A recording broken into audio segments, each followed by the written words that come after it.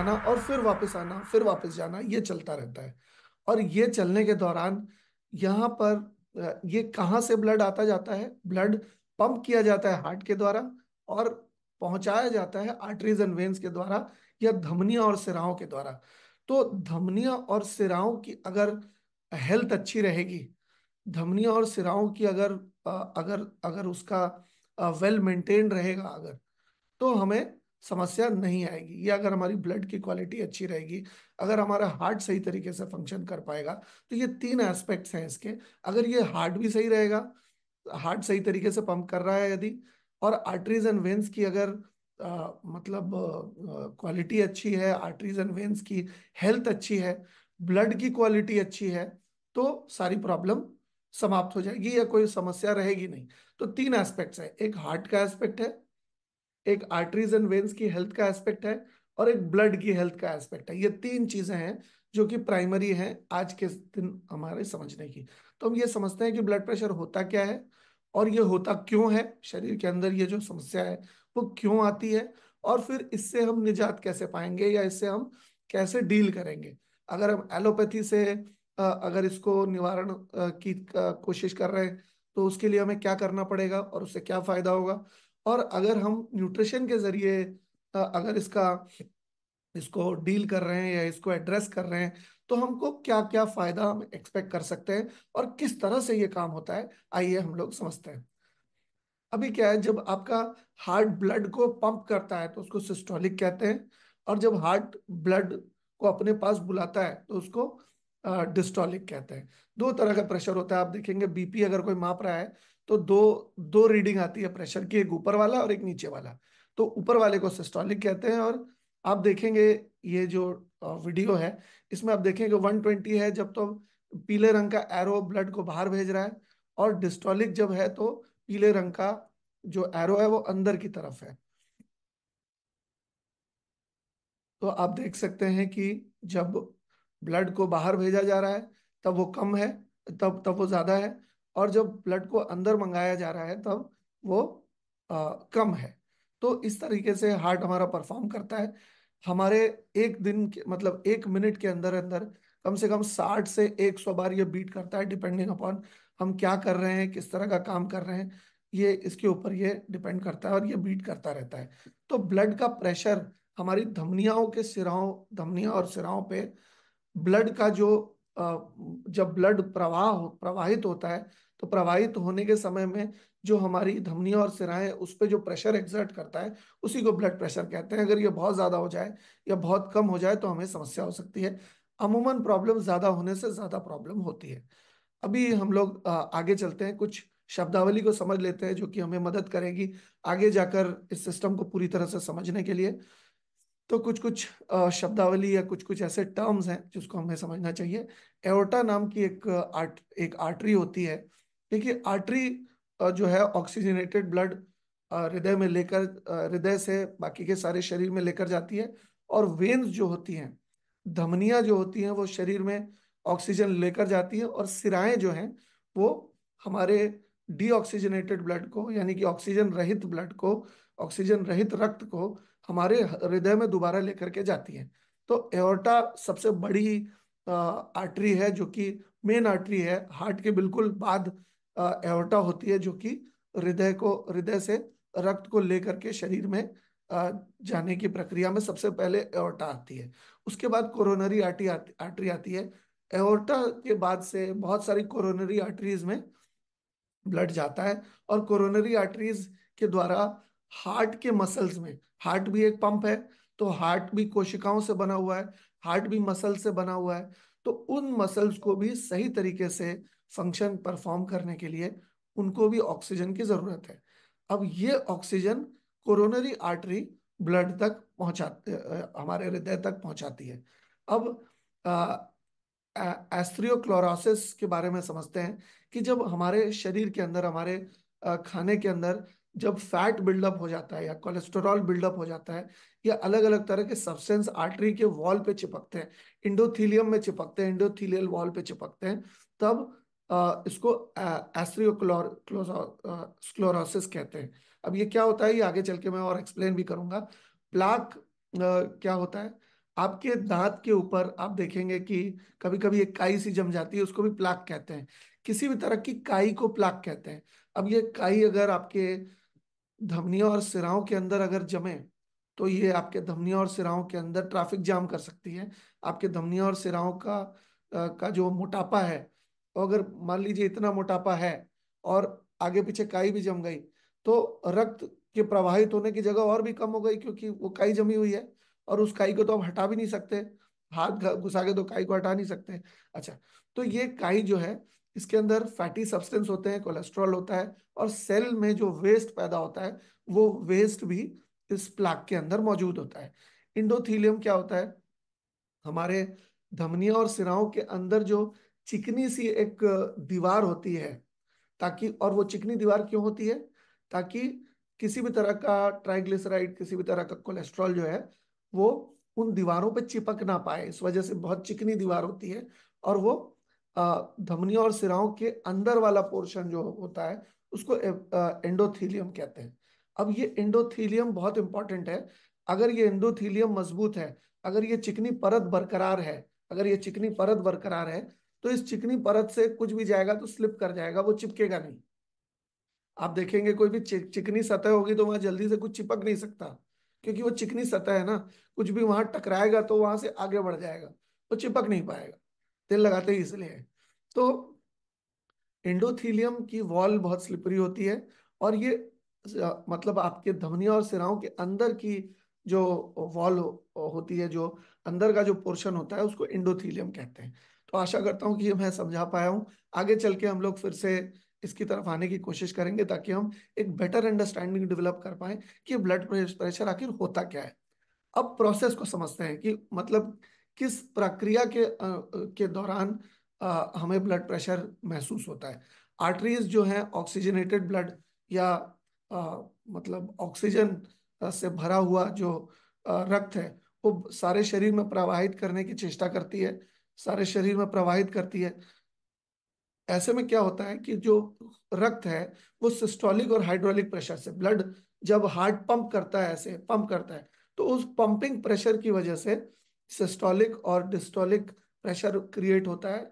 और उस pumping action की वजह से रक्त जो है, वो धमनियों और सिराओं में संचारित होता है, ठीक है? अभी पंपिंग एक्शन तो हो गया।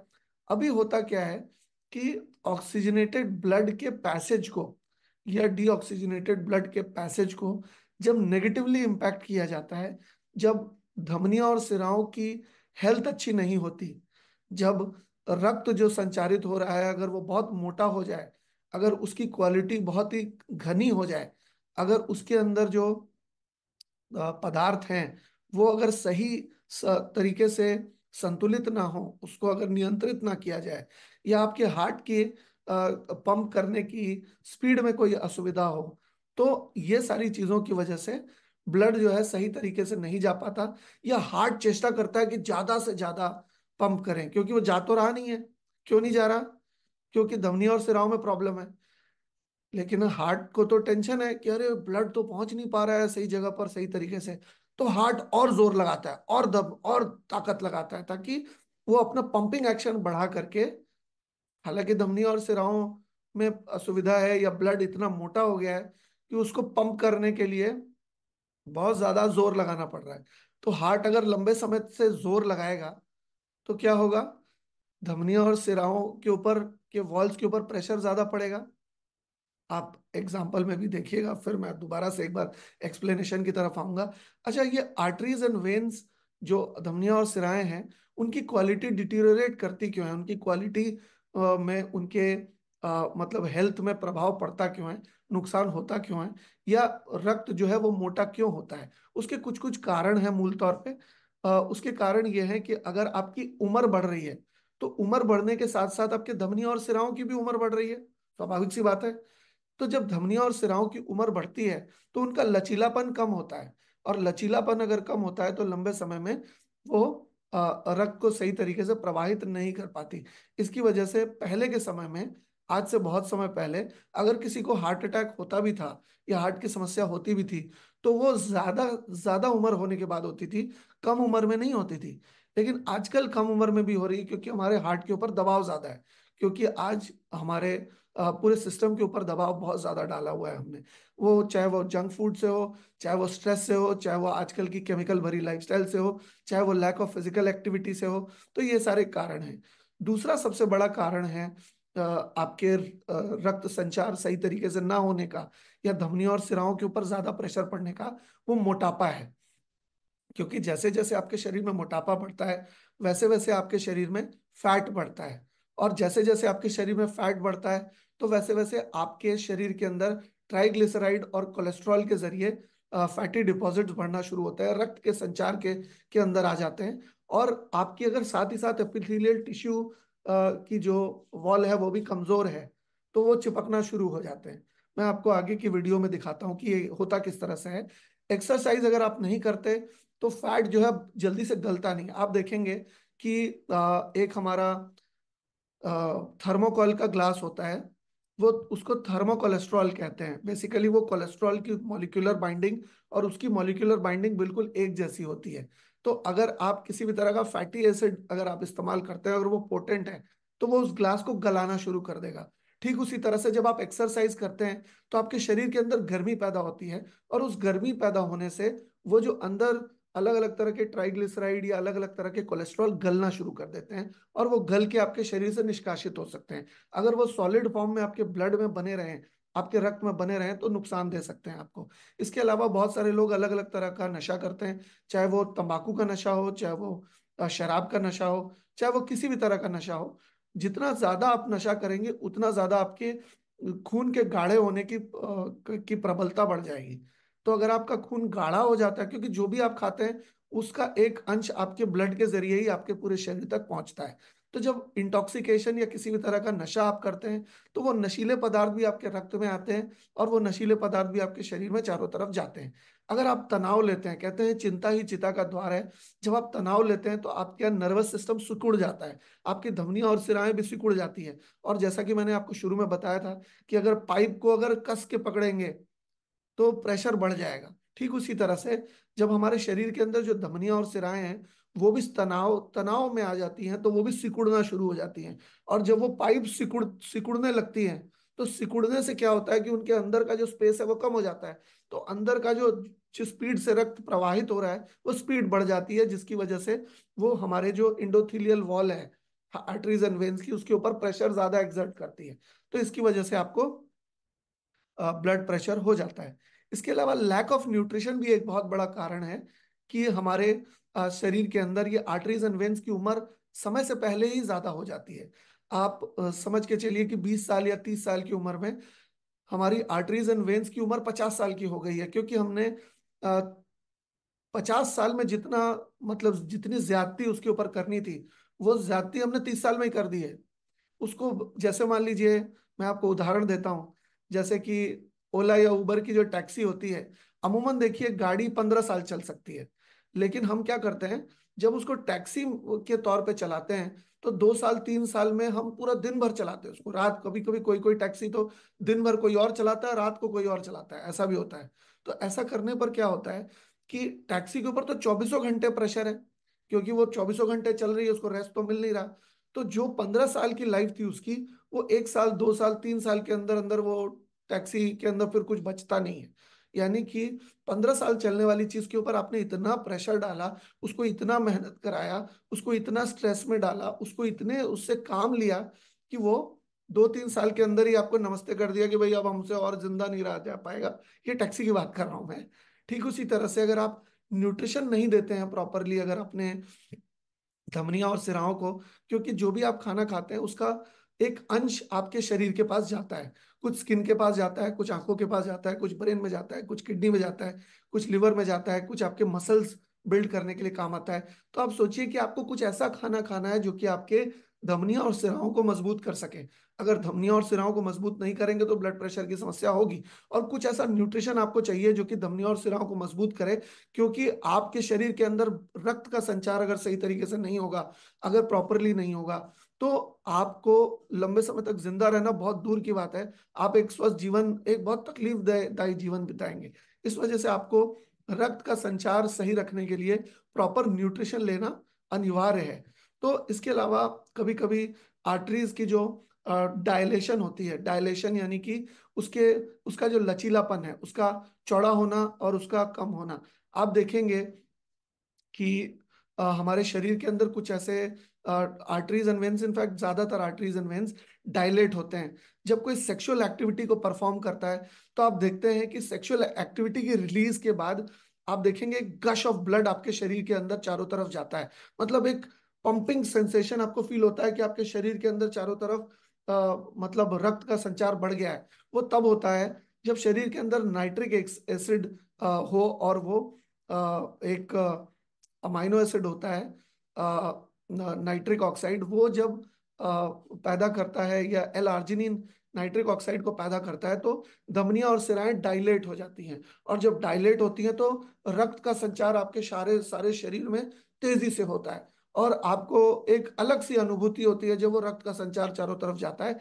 यही चीज़ न्यूट्रिशन से भी संभव है और अगर आप सही तरीके का न्यूट्रिशन ले रहे हैं तो ये गश ऑफ़ ब्लड या ये जो आर्टरीज का डायलेशन जो है वो इतने परिमाण में हो जाएगा कि आपको आ, आपके पूरे शरीर के अंदर अच्छा क्वालिटी का ब्लड और अच्छी न्यूट्रिशन को पहुँचाने वाला ब्लड अच्छी आर्टरीज की हेल्थ में पहुँच सकेगा। लेकिन अगर आपका न्यूट्रिशन सही नहीं है, अगर आपकी लाइफस्टाइल सही नहीं है तो क्या होगा कि ये जो आर्टरीज एंड वेन्स सिकुड़ने लगती हैं और सिकुड़ने जब लगती हैं, तब आपका ब्लड प्रेशर बढ़ सकता है। इसके अलावा ये ऐसा इस वजह से भी हो सकता है कि प्लाक जमना शुरू हो जाती है, काई जो है, एक तरह की काई है ब्लड की, वो जमना शुरू हो जाती है आपके एपिथीलियल या आपका जो ये इंडोथीलियम है इंडोथीलियम के ऊपर चिपकना शुरू हो जाती है और उसकी वजह से ब्लड का सर्कुलेशन रुकना शुरू हो जाता है।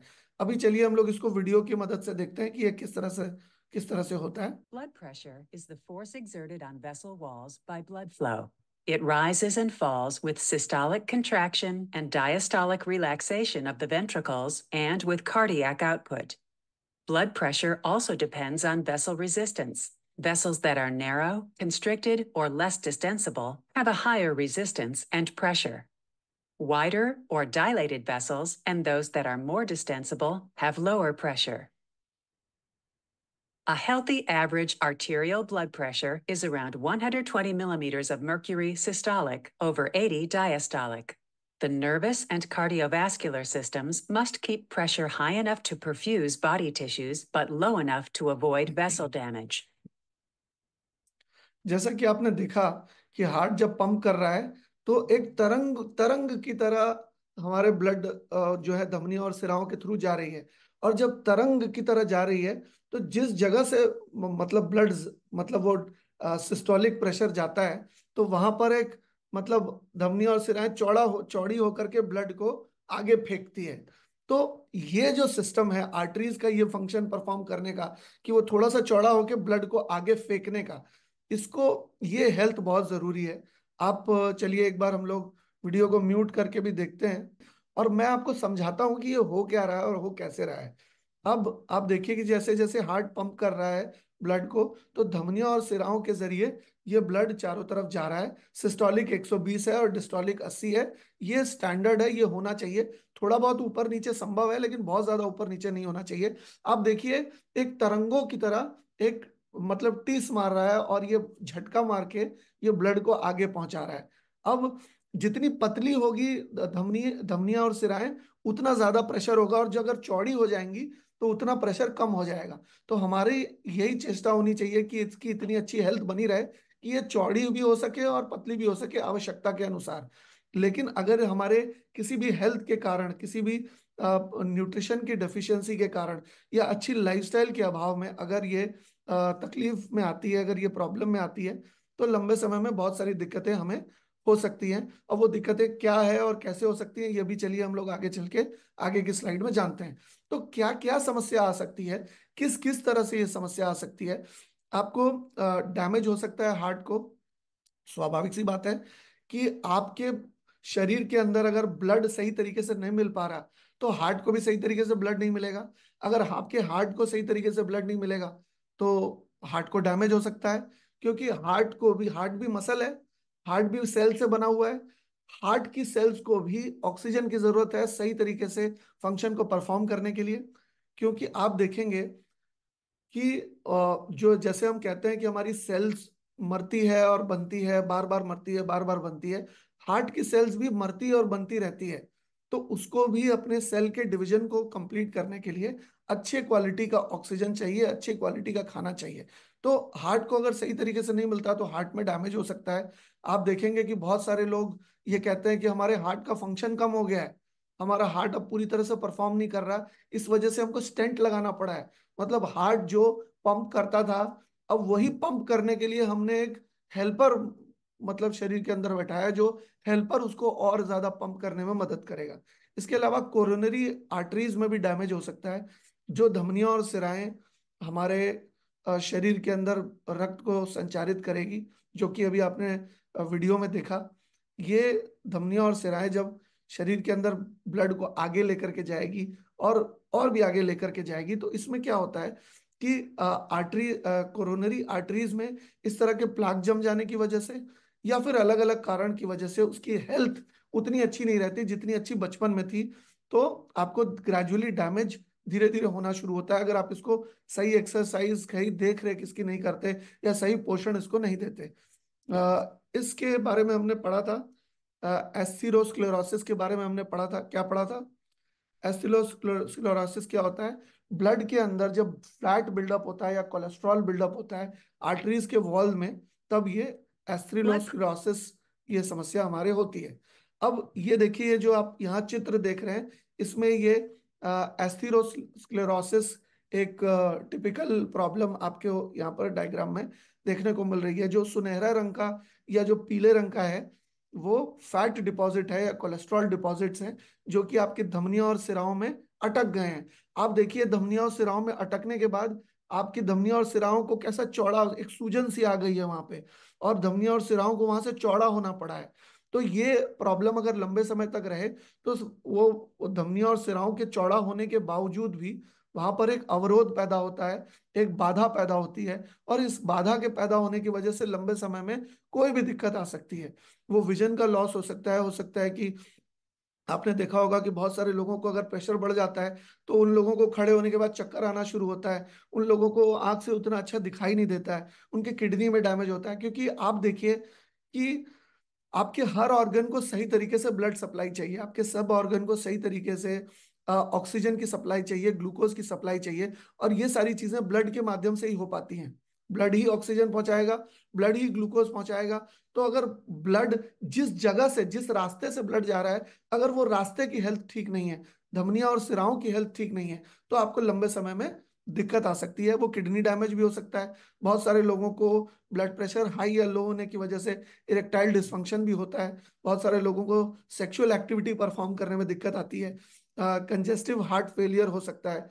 जैसे कि कंजेशन की वजह से uh, जो आपका कोरोनरी uh, आर्टरी है जो आपको हार्ट uh, को ऑक्सीजन पहुँचा रही है हार्ट के सेल्स के अंदर ऑक्सीजन पहुँचा रही है अगर वहाँ पर सही तरीके से ऑक्सीजन ना मिल पाए तो लंबे समय में आपके हार्ट की सेल्स जो है मरना शुरू कर देंगी। और अगर हार्ट की सेल्स मरना शुरू करेंगी तो आपका हार्ट की परफॉर्म करने की एबिलिटी कम हो जाएगी। हार्ट की परफॉर्म करने के लिए एबिलिटी कम हो जाएगी तो हार्ट फेलियर भी हो सकता है। हार्ट फेलियर तब होता है जब हार्ट की सेल्स ग्रेजुअली मरना शुरू कर देती है, या हार्ट की जो कार्य क्षमता है वो कम हो जाती है। अब समझते हैं कि हार्ट अटैक क्या होता है। रक्त का संचार जिस जगह पर, जिस तरह से जिस प्रवाह में होना चाहिए, उस प्रवाह में अगर ना हो तो अवरोध पैदा होता है। और ये अवरोध जो है, लंबे समय में हार्ट को बाधा देता है और हार्ट मतलब सही तरीके से ब्लड ब्लड पंप ज़्यादा करने के बावजूद भी सही तरीके से ब्लड को अपने ऑर्गन्स में नहीं पहुँचा पाता है, क्योंकि बीच में अवरोध है। प्रॉब्लम बीच में है, प्रॉब्लम हार्ट में नहीं है। प्रॉब्लम अगर प्रॉब्लम हार्ट में नहीं है लेकिन बीच में कहीं है, रास्ते में कहीं है और रास्ते में अवरोध के कारण रक्त नहीं पहुँच पा रहा तो इस वजह से आपको हार्ट अटैक हो सकता है। ये अवरोध कहीं भी हो सकता है, हार्ट के तुरंत बाद भी हो सकता है या दूर कहीं भी हो सकता है। इस वजह से बहुत सारे लोगों को बहुत सारे अलग अलग अंग प्रत्यंगों में दर्द की शिकायत होती है, बराबर दर्द दर्द रहता है, क्योंकि रक्त जिस तरीके से पहुँचना चाहिए, वहाँ पहुँच ही नहीं पा रहा। इस वजह से मीठा मीठा दर्द हमेशा बना रहता है। इसके अलावा कभी कभी लोगों को यहाँ पर ऐसा लगता है कि सुइयाँ चुभ रही हैं या हार्ट भारी भारी लग रहा है। तो ये जो एंजिना होता है वो चेस्ट पेन होता है लो ब्लड फ्लो की वजह से। जब आपका ब्लड फ्लो कम होता है तो आपको ये वाला पोर्शन भारी भारी लगता है या आपको लगता है कि थोड़ा हल्का हल्का यहाँ पर दर्द होता है। ये पूरे के पूरे पोर्शन में दर्द होना शुरू होता है। मैं आपके दिमाग को भी ब्लड, रक्त का संचार चाहिए और दिमाग की जो धमनियाँ और सिराएँ वो तो बहुत ही पतली होती हैं। इसकी वजह से अगर आपके आर्टरीज एंड वेन्स अगर आपकी धमनियों और सिराओं में कोई भी समस्या है तो आपके ब्रेन में ऑक्सीजन जाना कम हो जाएगा और आपकी मेमोरी जो है, वो इम्पेयर हो जाएगी मेमोरी में दिक्कत आ जाएगी और हार्ट अटैक भी हो सकता है अगर आपके धमनियों और सिराओं में दिक्कत है। तो हार्ट अटैक हार्ट की प्रॉब्लम की वजह से ज़रूरी नहीं कि हो ये आपके धमनियों और सिराओं की हेल्थ की वजह से भी हो सकता है ब्लड की क्वालिटी की वजह से भी हो सकता है। अभी हम समझते हैं कि अगर आप दवाई लेते हैं तो इससे क्या प्रभाव पड़ता है? आपके इस सिचुएशन के ऊपर क्या प्रभाव पड़ता है? अभी क्या है कि जब भी आप मेडिकेशन लेते हैं चाहे वो मेडिसिन uh, जो है बेसिकली सप्रेशन के प्रिंसिपल के ऊपर काम करती है वो कभी भी किसी भी चीज़ को ठीक करने का उसका मकसद नहीं होता।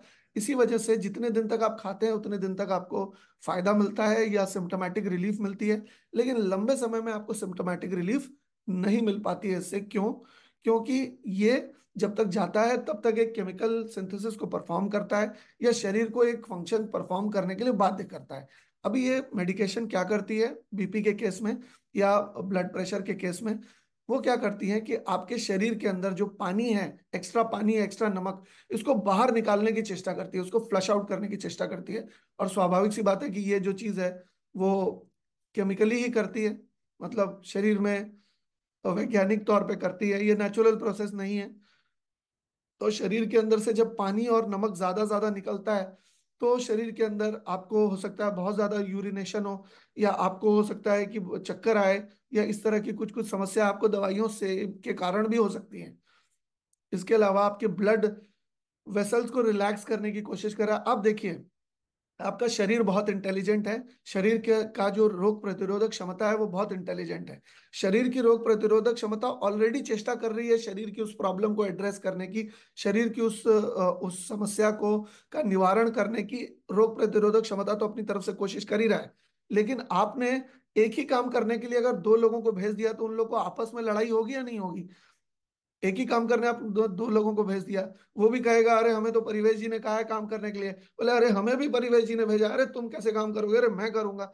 तो इसकी वजह से वो ब्लड वेसल्स को रिलैक्स करने की कोशिश करते हैं दवाइयाँ जो कि क्योंकि नेचुरली कभी कभी ये प्रोसेस नहीं होता जिसकी वजह से आपकी हार्ट की जो हेल्थ है या आपकी जो धमनिया और सिराओं की हेल्थ है या जब आपके ब्लड की जो आ, का जो कॉम्पोजिशन है वो कभी कभी इस वजह से बिगड़ता है क्योंकि ये जो ब्लड रिलैक्सेंट्स हैं या जो ब्लड वेसल रिलैक्सेंट्स हैं उसकी वजह से ये दिक्कत आ सकती है। इसके अलावा बीटा ब्लॉकर्स होते हैं जो आपके हार्ट बीट को की जो आ, मतलब जैसे मान लीजिए आपका हार्ट ज़्यादा बीट कर रहा था क्यों? क्योंकि सही तरीके से ब्लड पहुँच नहीं रहा था। अवरोध कहीं बीच में है रास्ता ब्लॉक कहीं बीच में है लेकिन हार्ट तो अपनी तरफ़ से पूरी चेष्टा कर रहा है कि भाई ब्लॉकेज है तो क्या हो गया? हम ज़्यादा पंप कर देते हैं ताकि अवरोध जो है उसके बावजूद भी सही जगह पर पहुँच जाए। हार्ट अपने पूरी कोशिश कर रहा है। अब आप खुद ही सोचिए कि बीच में कहीं प्रॉब्लम है। अवरोध कहीं बीच में है और रास्ता ब्लॉक कहीं बीच में है और दवाइयों के ज़रिए हम अपनी हार्ट की बीटिंग फोर्स को ही कम कर दे रहे हैं। अगर हम अपनी हार्ट की बीटिंग फोर्स को ही कम कर देंगे और अवरोध भी अगर बना रहेगा तो लंबे समय में प्रॉब्लम सॉल्व होने की जगह तो ये प्रॉब्लम बढ़ भी सकती है। इसी वजह से कहा जाता है कि आप जो दवाइयाँ लेते हैं वो एक मेडिकल सुपरविजन में लें। आप दवाइयाँ जो हैं एक मेडिकल प्रैक्टिशनर से बात करके लें ज़्यादा ना लें कम ना लें उनसे बात करके ही लें उनके मेडिकल सुपरविजन में ही लें। इसकी वजह से कहा जाता है क्योंकि कभी भी थोड़ा उन्नीस बीस हो गया कभी कुछ ज़्यादा हो गया कुछ कम हो गया तो लेने के देने पड़ सकते हैं। अच्छा इसके अलावा क्या होता है? आ, आपकी नर्व एक्टिविटी को ब्लॉक करते हैं ये और आपके ब्लड वेसल्स को रिस्ट्रिक्ट करते हैं यानी कि ब्लड वेसल्स के अंदर जो भी प्रक्रिया हो रही थी नेचुरली, उसको ब्लॉक करके हम उससे एक स्पेसिफिक फ़ंक्शन परफॉर्म करवाते हैं, जो कि अगर सही तरीके से चलता है तो बहुत अच्छा है। देखिए, अगर आप दवाइयों के ज़रिए इस चीज़ को एड्रेस करते हैं तो आप रस्सी के ऊपर चल रहे हैं। कभी आपका बैलेंस इधर बिगड़ जाएगा, कभी आपका बैलेंस इधर बिगड़ जाएगा। बैलेंस इज़ द की और बैलेंस मेंटेन करना दवा के केस में बहुत मुश्किल हो जाता है, क्योंकि हम जिस प्रॉब्लम से, जिस कारण से वो प्रॉब्लम हुई, उस कारण को एड्रेस नहीं कर रहे। आपको एग्ज़ाम्पल देता हूँ। अगर आपने आपको आठ नंबर का जूता आता है और आपने सात नंबर का जूता पहन लिया क्योंकि किसी ने किसी ने आपको सात नंबर का जूता गिफ्ट में दिया है और वो जूता आपको बहुत पसंद आ रहा है तो आपने कैसे भी करके पैर को ज़बरदस्ती उसके अंदर घुसेड़ दिया और सात नंबर का जूता पहन लिया। अब आप देखेंगे कि अगर आप उस जूते को लगातार यूज़ करते हैं तो आपके पैर में एक दर्द पैदा हो जाएगा। और वो दर्द पैदा हो जाएगा तो आप डॉक्टर को दिखाने जाएँगे। आप कहेंगे, डॉक्टर साहब, दवाई दे दीजिए, ये प्रॉब्लम हो गई है, दर्द हो रहा है पैर में। आपने डॉक्टर को नहीं बताया कि आपने छोटा जूता पहना है इसलिए दर्द होना शुरू हुआ। पर आप दवाई खा रहे हैं। आप डॉक्टर साहब के पास गए, उनसे दवाई ली, आपने खाई, आप ठीक नहीं हो रहे। फिर आप दोबारा गए उस डॉक्टर साहब के पास। आपने कहा, डॉक्टर साहब, काम नहीं हो रहा दवाई से। आप ज़रूर मुझे कुछ दीजिए और दवाई दीजिए। तो डॉक्टर साहब ने दवाई बदल दी, फिर भी काम नहीं हुआ। फिर गए डॉक्टर साहब के पास, फिर दवाई बदल फिर काम नहीं हुआ। फिर आपको लगता है कि, अरे यार, लगता है ये डॉक्टर बेकार है। चलो, किसी और डॉक्टर साहब के पास चलते हैं। तो आप किसी और डॉक्टर साहब के पास जाते हैं। उनसे भी दवाई लेते हैं, फिर काम नहीं होता। फिर कहीं और जाते हैं, फिर दवाई लेते हैं, फिर काम नहीं होता है। आप पचास अलग अलग डॉक्टर साहब बदल लेते हैं, लेकिन फिर भी आपके पैर का दर्द ठीक नहीं होता। क्यों? क्योंकि पैर के दर्द का कारण जब तक बरकरार है, तब तक वो प्रॉब्लम सॉल्व नहीं होगी दवाई खा के क्योंकि प्रॉब्लम दवाई खाने से मतलब प्रॉब्लम जिस कारण से शुरू हुई थी, जिस कारण की वजह से दर्द हुआ था, वो कारण अभी भी बना हुआ है, जिसकी वजह से प्रॉब्लम अभी भी बनी हुई रहेगी। आप चाहे दवाई खाइए, चाहे जो भी कुछ खाइए।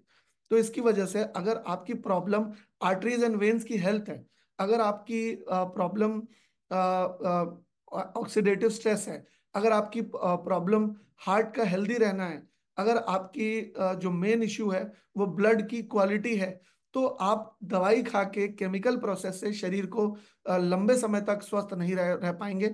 लंबे समय तक अगर आप बीपी के मेडिकेशन लेते हैं तो उसके कुछ ना कुछ थोड़े किसी किसी को कम या किसी को ज़्यादा साइड इफेक्ट्स तो होते ही है।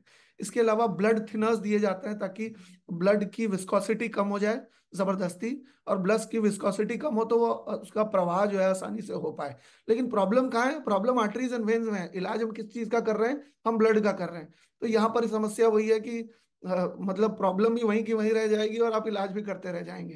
तो आपको कुछ समय के लिए रिलीफ मिलेगी, लेकिन लंबे समय में नहीं मिलेगी। लेकिन हम अगर न्यूट्रिशन के ज़रिए इस काम को करते हैं तो हम करते क्या है, ये समझिए पहले। हम क्वालिटी और एफिशिएंसी ब्लड की इंप्रूव करते हैं। अब जब हम ब्लड की और क्वालिटी और एफिशिएंसी ब्लड का एफिशिएंसी इंप्रूव करने का क्या मतलब हुआ? ब्लड की कार्यक्षमता क्षमता को बढ़ाने का क्या मतलब हुआ? ब्लड का काम है ऑक्सीजन को एक जगह से दूसरी जगह पहुंचाना, ग्लूकोज को एक जगह से दूसरी जगह पहुंचाना डब्ल्यू को एक जगह से दूसरी जगह पहुंचाना रेड ब्लड सेल्स को या हेमोग्लोबिन बेसिकली अलग अलग चीज़ों को एक जगह से दूसरी जगह पहुंचाना इसका काम है। और ये जाता किस रास्ते से? ये हाईवे से जाता है। जैसे हमारे देश में कई सारे नेशनल हाईवे हैं, उसी तरह से हमारे शरीर के अंदर भी बहुत सारे धमनियों और सिराओं के नेशनल हाईवे हैं। अगर किसी नेशनल हाईवे में ब्लॉक हो गया तो आपके शहर की तो गलती नहीं है। वो वहाँ हो सकता है कोई ट्रैफ़िक जाम किसी एक्सीडेंट के कारण हो हो सकता है चेकिंग चल रही हो बस कुछ भी कारण हो सकता है।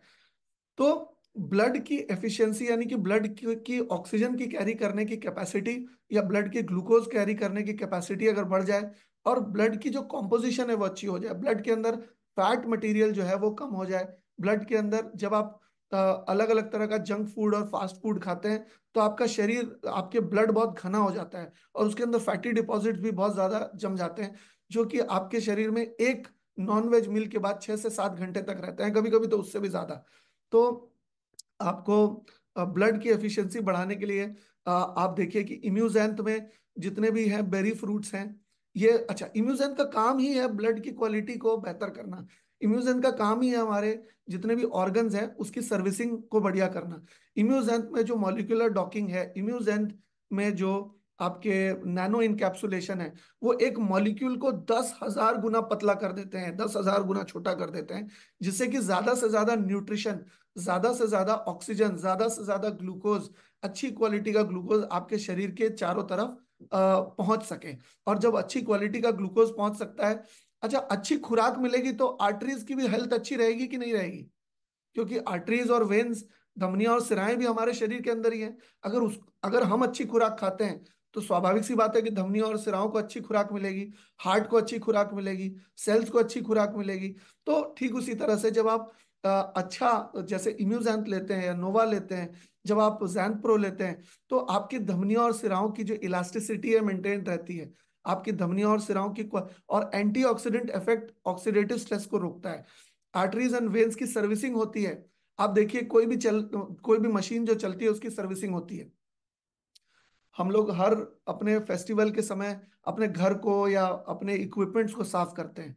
तो ठीक उसी तरह से जब आपकी धमनियों और सिराओं की भी सर्विसिंग हो जाए यदि तो ये सप्लीमेंट से पॉसिबल है, क्योंकि हम रूट कॉज के ऊपर एड्रेस करते हैं। तो धमनियों और सिराओं की किस चीज़ से सर्विस हो सकती है? धमनियों और सिराओं की सबसे अच्छी सर्विसिंग इम्यूजैन से हो सकती है। इसके अलावा प्लाक जो है उसको जमने नहीं देता इंडोथीलियल वॉल पे। आपने ये जो यहाँ पर देखा कि ये जो इंडोथीलियल वॉल पे प्लाक जमी हुई है इस प्लाक को जमने नहीं देता। ज, जमेगा कब? आपको मैं दिखाता हूँ रुकिए एक मिनट। ये आप आप गौर करिए कि ये जो ये जो एंडोथीलियल वॉल है सेकेंड। लाल, पीला, सफ़ेद सफ़ेद ही करते हैं।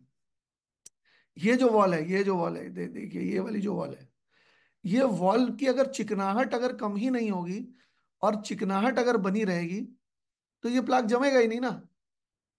ये जो पोर्शन है, अगर यहाँ की चिकनाहट खत्म नहीं होती तो ये प्लाक जमती ही नहीं यहाँ। ये प्लाक यहाँ जमती ही नहीं। तो इसकी चिकनाहट अगर बरकरार रख दें, इसकी चिकनाहट अगर हम मेंटेन कर दें तो हमारी प्रॉब्लम तो वहीं पे सॉल्व हो जाएगी।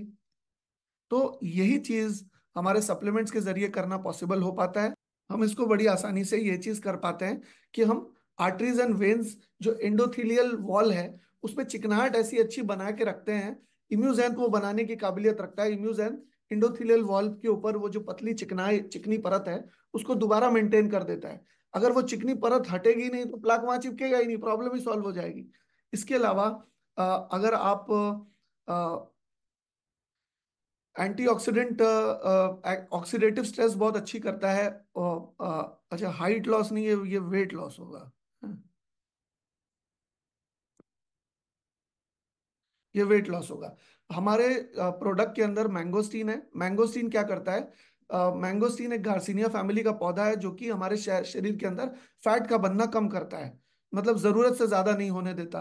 तो जब फैट का बनना कम हो जाता है हमारे सिस्टम के अंदर तो फैट के कम बनने की वजह से रक्त के संचार में जो फैट आ रहा है, वो भी कम हो जाता है। जिसकी वजह से ये प्रॉब्लम काफ़ी हद तक, जिस कारण से प्रॉब्लम शुरू हुई थी, उस कारण को ही खत्म कर देता है।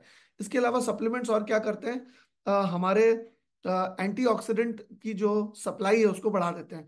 ऑक्सीजन की सप्लाई ग्लूकोज की सप्लाई वाइटामिन की मिनरल्स की एंथ्रोकिनॉन्स की प्रोटीन्स की, ये अमाइनो एसिड्स की, इन सारी चीज़ों की जो, जिसको कि शरीर को ज़रूरत है। शरीर को खुराक की ज़रूरत है, शरीर को आहार की ज़रूरत है। शरीर को पोषण की ज़रूरत है। वो सारी, वो सारा पोषण ये एंटीऑक्सीडेंट्स रेनेटस नोवा के रूप में इम्यूजैन के रूप में हमारे शरीर को देते हैं। धमनिया और सिराओं की सर्विसिंग हो जाती है और वहाँ पर प्लाक नहीं जमता, वहाँ पर काई नहीं जमती, वहाँ पर किसी भी तरह की कोई समस्या नहीं होती। हार्ट की हेल्थ अच्छी रहती है और ब्लड की क्वालिटी भी अच्छी रहती है और ब्लड की क्वालिटी अच्छी रहेगी तो आर्टरीज एंड वेन्स को कभी दिक्कत होगी भी नहीं। इसके अलावा हमारे शरीर के अंदर जो स्ट्रेस का हार्मोन है, उसको कम करने में, उसको रेगुलेट करने में भी मदद करता है। अच्छी नींद आने में मदद करते हैं। आप इम्यूजैन की बात करिए नोवा की बात करिए या जैन प्रो की बात करिए, ये शरीर के नॉर्मल सिस्टम को बरकरार रखने में मदद करते हैं। तो ये सारी चीज़ें करते हैं, अच्छी नींद आने में मदद करते हैं स्ट्रेस को रिड्यूस करते हैं। स्ट्रेस की वजह से भी धमनिया और सिराएँ जो है, चपटी होना शुरू हो जाती हैं। तो वो चपटी नहीं होने देता हमारे न्यूट्रिशनल सप्लीमेंट नहीं होने देते।